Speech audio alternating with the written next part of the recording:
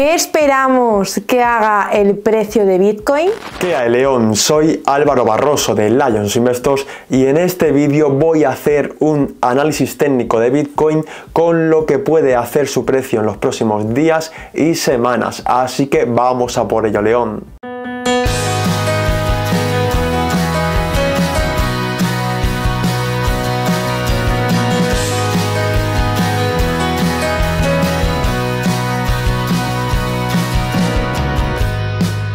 La información aquí contenida se expone de forma meramente informativa y no constituye una recomendación de inversión. Lions Investors no se hará cargo de ninguna pérdida ocasionada por el mal uso del usuario.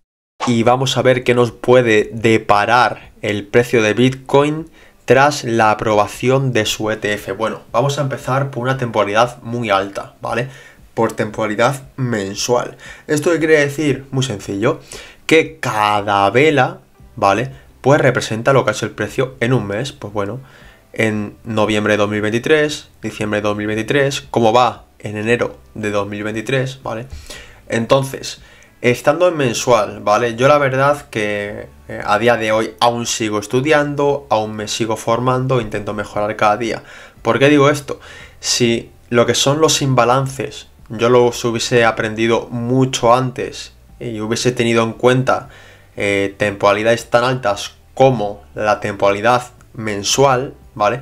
Pues no se me habría dado el caso de errar en el análisis en aquel que dije pues que yo pensaba que íbamos a llegar eh, a ver a Bitcoin en precios de 9.500, 12.500 dólares.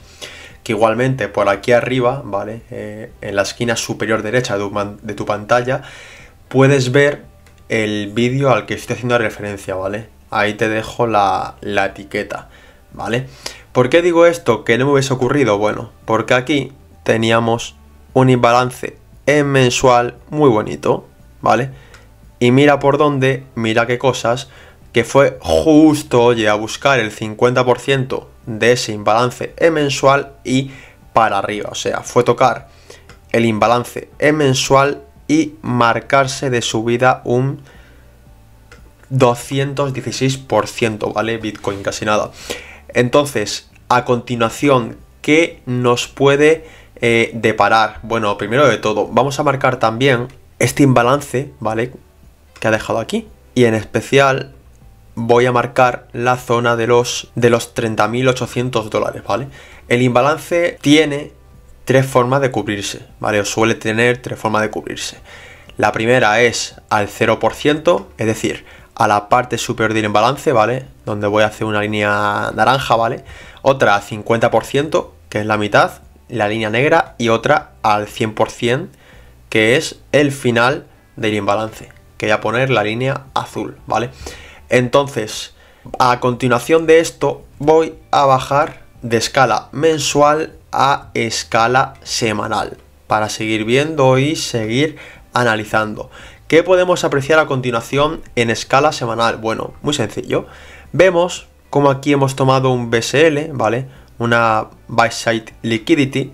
Espérate que te lo pongo en texto. Que, es principalmente, bueno, cuando dejas estos mechazos, ¿vale? Pues una toma de liquidez levemente por encima justo de ese nivel. Entonces, ahora, ¿qué es muy probable? muy probable, como digo, esto es análisis técnico, eh, no es una ciencia exacta, son probabilidades, ¿vale? Pero que es muy probable que se dé un retroceso hasta los 30.800 dólares para posteriormente continuar subiendo, ¿vale? Es decir, aquí hay un mechazo, pero es que a su vez esta toma de liquidez ha dejado otro mechazo. Entonces, ahora lo normal, ¿vale? Lo normal es que Bitcoin hiciese un retroceso para continuar subiendo, ¿vale? En esa subida, ¿hasta dónde podría subir? ¿Hasta dónde podría llegar? Bueno, volvemos a la temporalidad mensual y vemos este imbalance que como vemos se metió pero sin ser el 0% ya que ha llegado a más, yo creo que sí que vamos a llegar a ver a Bitcoin en los 50.500 dólares, ¿vale? O sea, esto en mensual. Si bajamos a semanal, pues eh, coincide ahí con una especie de viris order block, ¿vale? De order block bajista, más o menos, esa zona, ¿vale? Es decir, de una zona de presión de, de la venta. Entonces, pues yo ahora mismo mmm, tendría dos opciones. Opción A, que es que vaya primero a mitigar ese imbalance mensual al 50% para posteriormente caer a los 30.800 dólares, ¿vale? Es decir, que suba a los 50.000 para caer a los 30.000, ¿vale? Que ahí ya pues habría que ver lo que hace aquí el precio, cómo desarrolla, cómo eh, está reaccionando el volumen, la lectura del precio-volumen, que por cierto, si quieres una masterclass totalmente gratuita sobre el volumen más de lo mismo en la esquina superior derecha, ahora mismo de tu pantalla puedes ver la etiqueta para acceder a ese vídeo. Así que cuando acabe este vídeo, te vuelves a, este tramo y te ves esa, esa, masterclass que vas a ver cómo te es de gran ayuda, León, no me cabe duda, ¿vale? Dicho esto, esta sería la opción A, ¿vale? O sea, subida a 50.500 para corrección a 30.000. Opción A. Y lo que digo, ya aquí habría que esperar cómo reacciona. Es posible que comience un nuevo impulso, ¿vale? y se vaya incluso a la búsqueda de, nuevos máximos, ¿vale? O a la búsqueda de los 60.000 dólares, pero bueno, poquito a poco. Primero hay que ver a qué zona de estas dos llega antes, ¿vale? Podría ser esa opción o también algo así, ¿vale? Que vaya aquí y luego aquí. Y aquí esperar a ver qué ocurre. Lo que yo sí que pienso es que antes, por ejemplo, de irnos a por unos nuevos máximos o antes de que haya otra gran caída, ¿vale? Otra gran caída hablo, una de dos, de que haya nuevos máximos en Bitcoin o que haga nuevos mínimos, ¿vale? Antes de eso, tenemos que visitar, en mi opinión, tanto los 50 mil dólares como los 30 mil dólares. Una vez hayamos visitado eso, dependiendo de cómo lo haya hecho, de cómo eh, reaccione a las zonas, pues ya veremos a dónde puede ir el precio y a dónde, a dónde, a dónde nos puede llevar, ¿vale?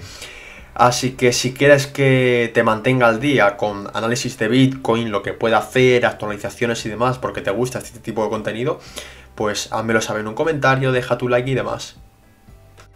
Al igual que te digo, León, como has visto, he hecho el análisis en velas mensuales y semanales. O sea, eh, es un análisis a semanas y meses vista, ¿vale? Es decir, este análisis que vengo comentando no tiene por qué darse de aquí a unos días, ni de aquí a una semana, ni de aquí a dos semanas, ¿vale? Al ser análisis en temporalidades muy altas, que en verdad un análisis, eh, cuanto mayor sea su temporalidad, mayor fiabilidad nos proporciona, ¿vale? Pues eh, lo que digo, al ser velas mensuales y semanales, vamos a tener que dejar semanas y meses a que se desarrolle este análisis. Bueno, León, ya hemos llegado al final de este vídeo. Nada, primero de todo, queríamos agradecerte que nos hayas acompañado y oye, comentarte antes de que nos abandones, que si te ha gustado este vídeo recuerdes dejar tu like. Ahí está el dedito arriba. Por supuesto, nos importa mucho tu opinión sobre este vídeo, así que... Deja tu comentario. Y que no se te olvide que si te gusta el contenido que hay en Lions Investors con vídeos como este, ¿qué tienen que hacer Sony? Díselo al león que nos está viendo ahora de la pantalla. Suscribirte y activar la campanita. Ahí está. Al activar la campanita, cualquier vídeo que suba te notificará YouTube, al igual que si hago alguna emisión en directo, se te notificará. Así que nada, León, muchas gracias por habernos acompañado. Seguimos rugiendo. Ahí está, seguimos rugiendo.